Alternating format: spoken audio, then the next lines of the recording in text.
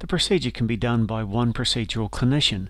You'll need stockinette, 7.5 cm Webril or padding, 10 cm plaster of Paris, cold water, crepe bandages and tape.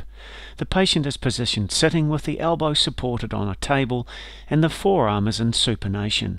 The wrist is supported in slight extension with a dorsal Gypsona roll.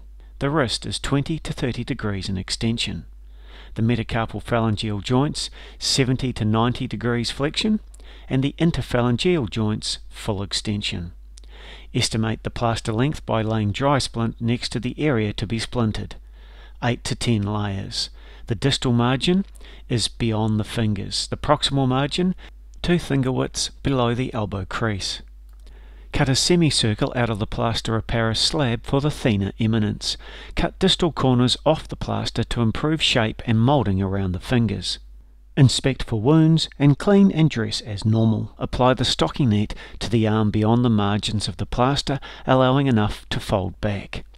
Cut a small hole in the stockinette for the thumb. Apply two to three layers of the Webril or padding beyond the plaster margins, tearing or cutting as it passes through the first web space. Ensure the bony prominences are well padded with the Webril and it overlaps 25 to 50% with minimal creasing.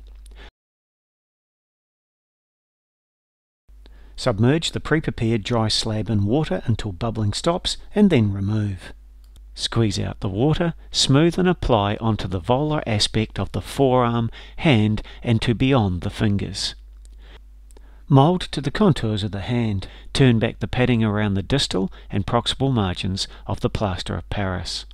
This keeps everything in place and allows for some more moulding. Apply crepe bandages firmly over the slab.